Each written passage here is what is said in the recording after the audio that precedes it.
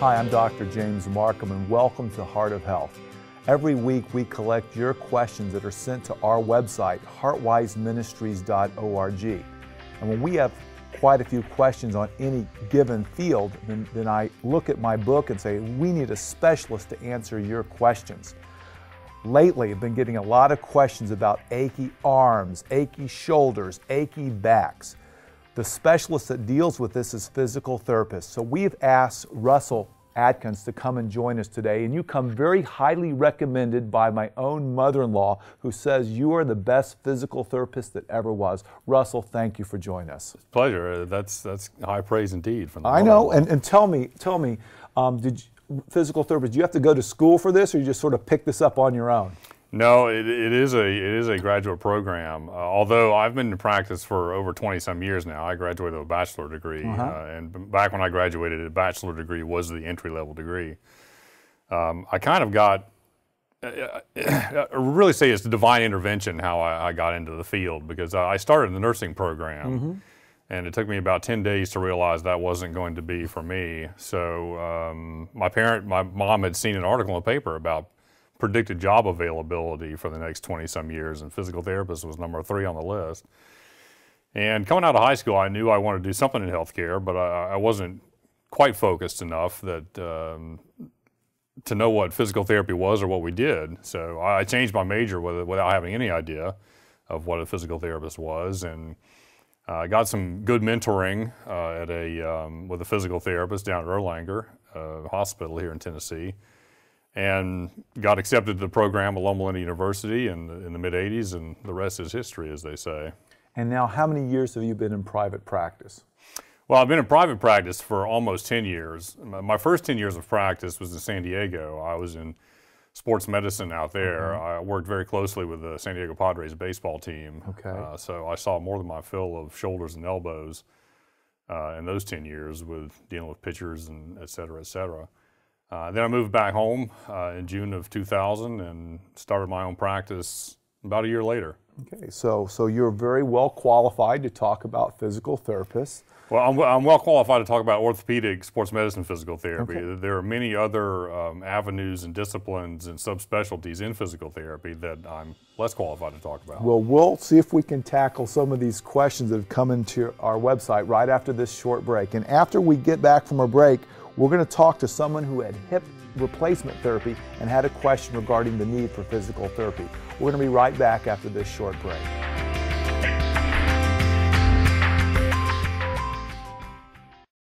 I'm Dr. James Markham, and I talk to patients every day who want to know the truth in healthcare. On our website, heartwiseministries.org, you can have your questions answered. You can read my blog where I talk about interesting and controversial subjects in medicine. You might choose to go to the radio or television sections and learn more about all sorts of health topics. Take the time and go to heartwiseministries.org.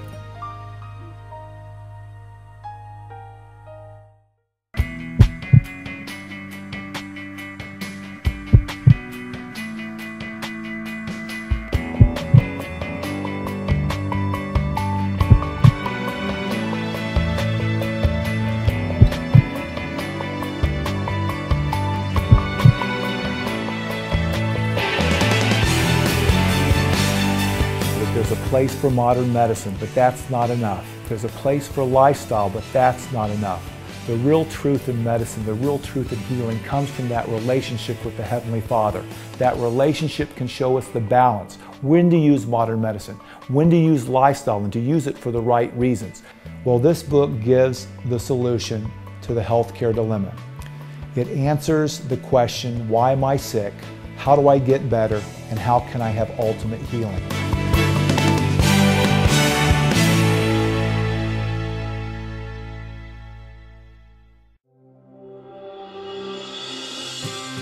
Welcome back to Heart of Health.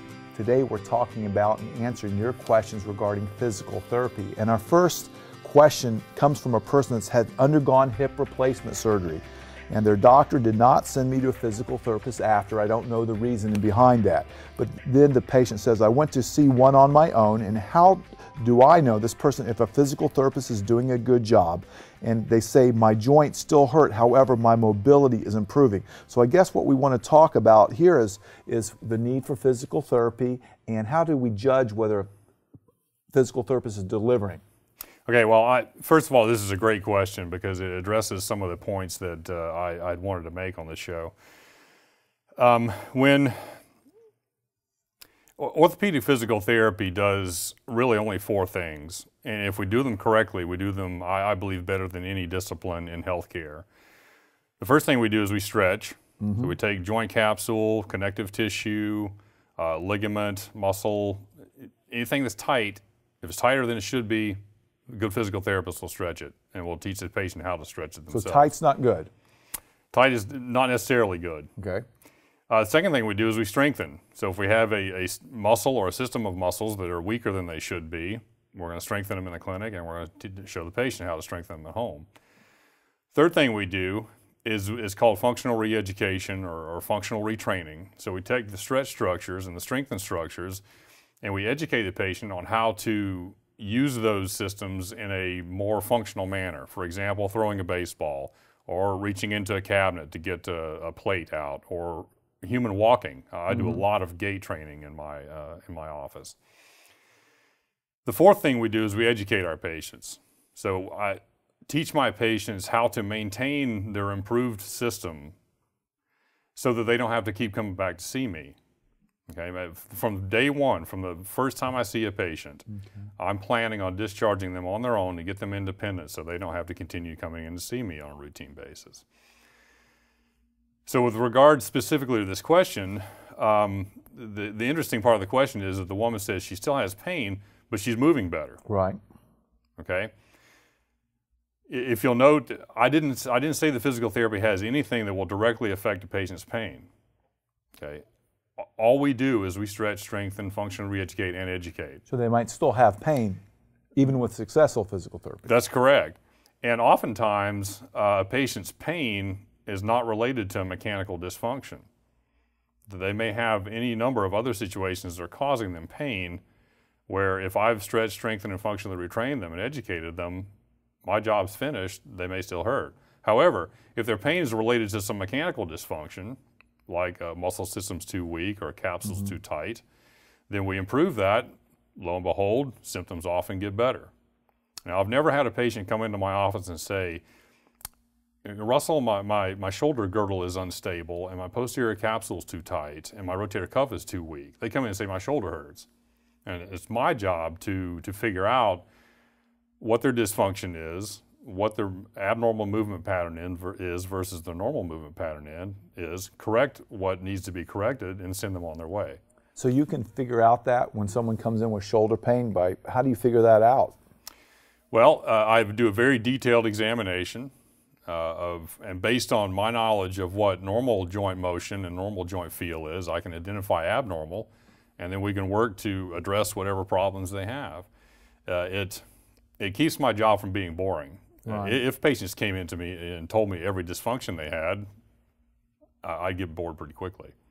Yeah. Now, another part of this question is, is does every person that has surgery, do they benefit from physical therapy or some people don't necessarily need it on, some, a, some on a joint? Some do not need the physical therapy after a joint surgery. Um, who it, might who it, might need a sur- who might need extra physical therapy after a joint surgery? Well, I'm a little surprised that, that a total hip didn't get referred to physical therapy. Mm-hmm. Uh, they uh, that's a very invasive surgery and often often needs some some intervention, in my opinion, from a physical therapist. Okay.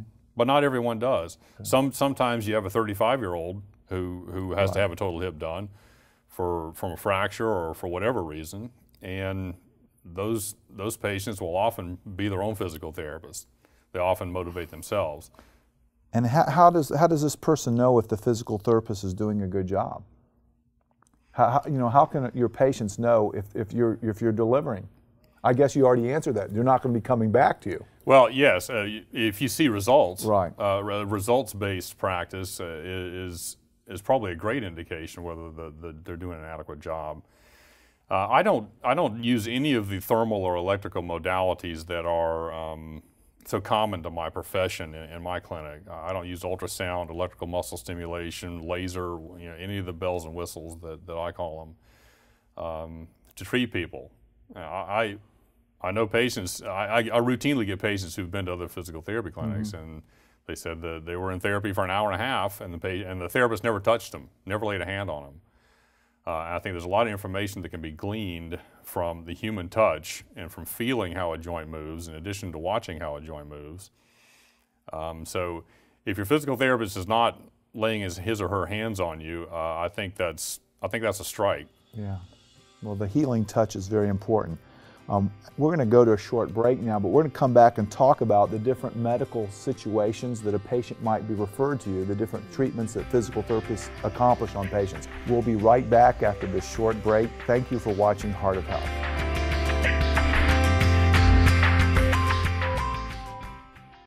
You can easily spend $90 on an expensive meal out. How about investing $89.94 in your future? Just think about the possibility of coming off those prescription pills and getting rid of all the side effects. Think about feeling better than you have ever felt in your life. This is all possible for you. For only $89.94, you will receive a seven part DVD series, Weight Management by the Book, a 30 lesson workbook with over 100 recipes, and if ordered today, exercise tubes will be included for free to help with your journey. There are many programs available, but this unique program has identified the truth about how to manage weight. This program is not available in stores. This limited offer will not last long. Pick up the phone now and dial 877 504 9628. Operators are standing by. This call will change your life forever.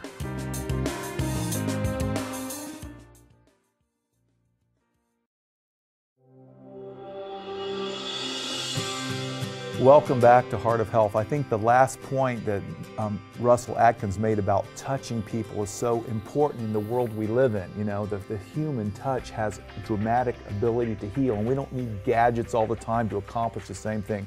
I don't know why people just don't like to touch you. I'm sure you wash your hands after every patient, right? Yes, uh, several times a day, 15, 20. So your hands are clean and dry. Um, and dry. The next question we have is: is what type of medical problems do physical therapists treat, or, or I guess this person's asking is when, what type of patients need physical therapy? What type of referrals are, are coming your way? That, that's a very broad question. Um, uh, I see I see a lot of patients with lumbar spine pain, you know, low back okay, pain. low back pain. Uh, I see neck and shoulder, a lot of neck and shoulder issues. Um, there's a condition called a frozen shoulder, which okay. is a very common uh, condition and a very mysterious one too. Uh, in fact, frozen shoulders are probably the most difficult uh, patient group that I see. Uh, post-surgical, orthopedic post-surgical patients. Um, the list is endless, okay. really. Um, how about people that um, have problems walking? Do they benefit from physical therapy? Sure. And in fact, I think that, uh, and here again, this is personal opinion, that if, if an orthopedic physical therapist should be an expert in anything, it should be we should be experts in human gait.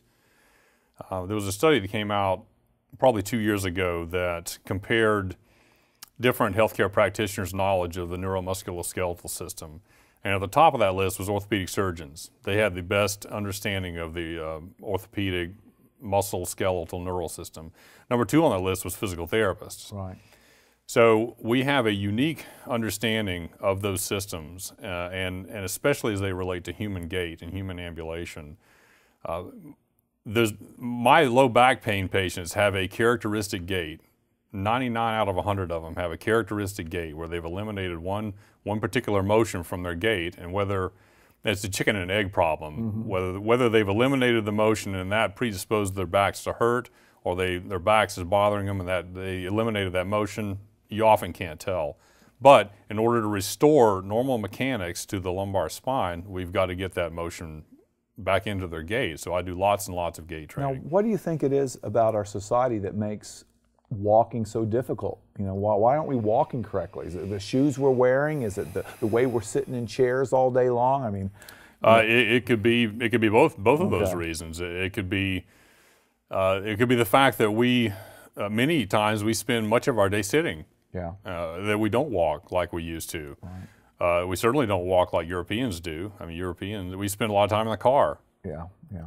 Now, this one, I've, I've sort of always been curious about exercise programs. You know, I see a lot of people going and they're lifting heavy weights and doing this you know, are, should they be looked at to make sure they're doing this correctly? You know, I see all sorts of people that lifting weights or pulling muscles or straining things. They're spending too much time these triathlons and straining things. Would they benefit from from a, a deeper knowledge of this, or do you think exercise physiologists should should have some physical therapy background and training, or should just people just jump into these exercise programs? I see some people just really overdo it. Oh, certainly they do, or or they do it incorrectly, and then they end up as patients. Um, I think uh, an intervention or two, uh, they certainly shouldn't need to be seen long term.